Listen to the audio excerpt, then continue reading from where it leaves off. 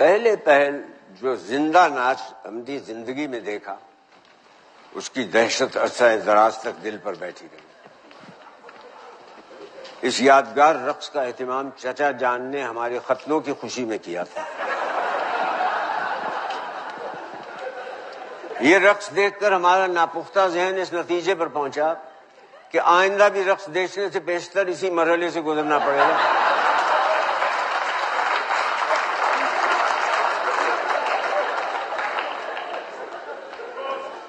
चुनाचे एक मुद्दत तक रक्स के नामी से बदन में एक कपकपी से महसूस होता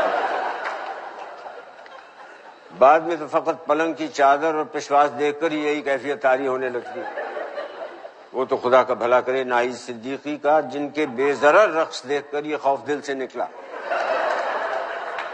और हमारा हयाऊ खुला, जैसा कि आपने हमारी बातों से खुद भांप लिया होगा।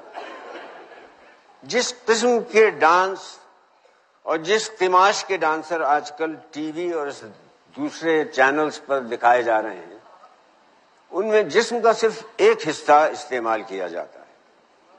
हर जज्बे और हर, हर ऐसी ख्वाहिश का इजहार और ऐलान जिससे घर बिगड़े अब सिर्फ़ कूलों के ज़रिए किया जाता है।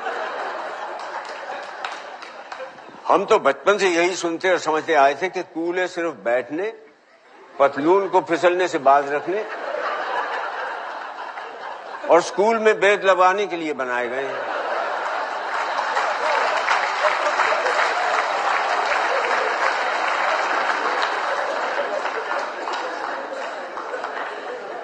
ऐसी बेहयाई, इस कदर सत्र कुशाई और उरियानी होती है कि वल्ला पलक झपकने को जी नहीं चाहता।